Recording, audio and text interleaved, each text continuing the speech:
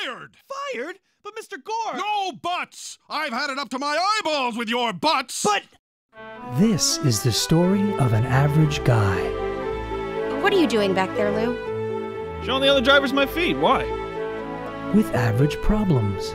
But I'm together with Rick now. We're very, very happy. There's that Rick thing again. Who is this guy anyway? Why are you so afraid to bring him around when I'm here? Hey, I'm right here, Lou. Stay out of this, Rick. Who has just been chosen to save the world. Who, me?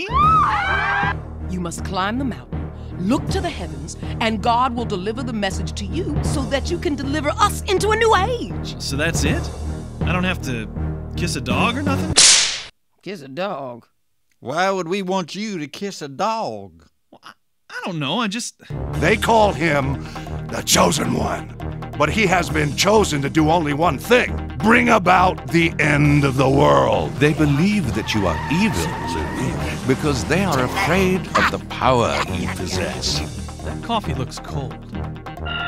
You know, my car is having some trouble outside. Maybe you want to come and have a look under my hood. God's going to just let me hang out on Earth, the only guy with superpowers. Unleash the robot! So, that's the way you want to do it.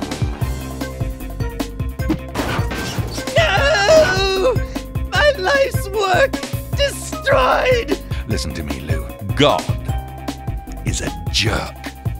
Just a bit player in a larger pantheon of insane powers that run randomly through the universe. What?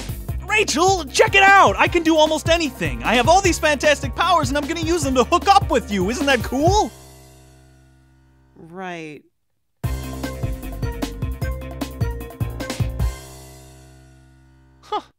I guess my luck really is changing.